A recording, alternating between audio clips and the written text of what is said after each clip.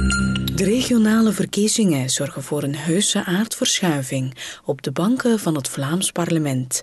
Om en bij de helft van alle parlementsleden zijn vernieuwd. Vanaf oktober start voor hen het echte werk.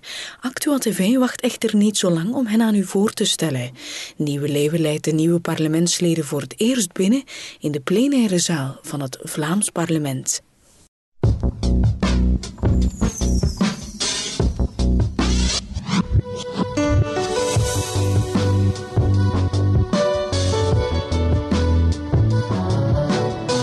Gwenny de Vroe.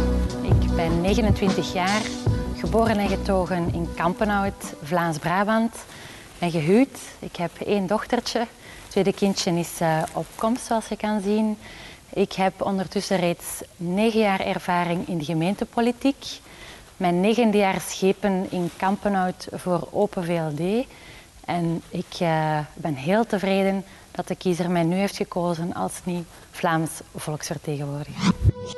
Laten we even terugkeren naar de dag en de avond van de Vlaamse verkiezingen op 7 juni 2009. Hoe is die verlopen voor u? Het was een uh, heel spannende uh, avond.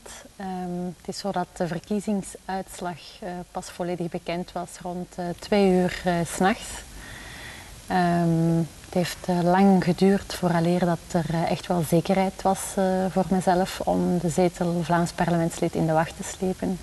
Uh, maar om twee uur s'nachts uh, was het gekend, dus het was uh, een heel spannende en fijne avond. Wie hebt u als eerste verwittigd toen u wist dat u verkozen was tot Vlaams volksvertegenwoordiger? Um, ja, het was natuurlijk al, al heel laat, um, maar ik heb toch nog telefoon genomen om contact op te nemen met mijn mama, die op dat moment zo vriendelijk was om nog te babysitten op ons dochtertje. Dus ik heb haar als eerste verwittigd, ja. Lag het resultaat binnen uw persoonlijke verwachtingen? Uh, het is zo dat het in eerste instantie onze bedoeling was, dus van onze partij Open VLD Vlaams-Brabant, om de vier zetels uh, die we hadden, om die te kunnen behouden. Uh, we zijn daar dus ook in geslaagd. Voor mij was dat natuurlijk ook noodzakelijk, aangezien ik zelf de vierde plaats beklede. Dus ik ben uiteraard heel gelukkig dat we die vierde zetel hebben kunnen behouden. En ik ben ook tevreden met uh, mijn persoonlijk resultaat. Wat staat u te wachten als Vlaams volksvertegenwoordiger en beseft u dit al? Um, uiteraard heb ik uh, daar wel een zeer goed uh, beeld van. Um, ik denk in eerste plaats dat het toch wel onze taak is als Vlaams parlementslid om de ideeën, om de visie van de mensen in Vlaanderen, meer bepaald mijn regio Vlaams-Brabant in mijn geval, om die echt uh, te vertegenwoordigen. Beschrijf uw ambitie in het Vlaams parlement. Mijn voornaamste ambitie is uh, om mijn kiezers uh, niet teleur te stellen, maar tevreden te stellen door hard te werken. en dat zal ik ook doen, dat garandeer ik. Garandeer ik. En... Op wat mogen de kiezers u afrekenen? Zij mogen mij afrekenen op um, mijn inzet, um, op mijn uh, beroepsernst. maar ik denk sowieso dat de, de afrekeningen gebeuren uh, op het moment dat het verkiezingen zijn. Uh, op dat moment zullen de kiezers de mensen die hun best gedaan hebben, die hard gewerkt hebben, belonen. De mensen die hun best niet gedaan hebben, zullen uh, vermoedelijk bestraft worden. Dus uh, ik zal er echt wel uh, hard voor werken en mij er 100% voor inzetten. Op welke dossiers zal u zich toeleggen en waarom?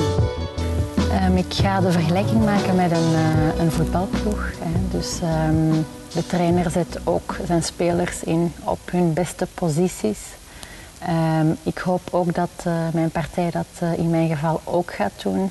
Um, mijn persoonlijke voorkeuren uh, gaan uit naar huisvesting, wonen, uh, ruimtelijke ordening, um, leefmilieu en ook uh, binnenlands bestuur. Dus ik hoop dat mijn partij mij zal inzetten op mijn beste zaken. Hoeveel tijd zal u spenderen aan uw job als Vlaams volksvertegenwoordiger? Uh, ik kan zie uh, deze job als een voltijdse uh, job. Dus ik zal hier ook dagdagelijks aanwezig zijn. Ik zal me dus de komende vijf jaren sowieso ehm, inzetten op politiek vlak, ook nog op gemeentelijk vlak in Kampenhout. Hoe zal u zichzelf evalueren of u goed bezig bent of niet? Oh, ik ben, ik betrap mij er zelf regelmatig op dat ik mij heel veel zelf evalueer. Ik ben heel zelfkritisch. En ik hou ook uh, heel veel rekening met reacties, ideeën enzovoort die ik krijg uit mijn directe omgeving. Dus zij houden mij wel scherp.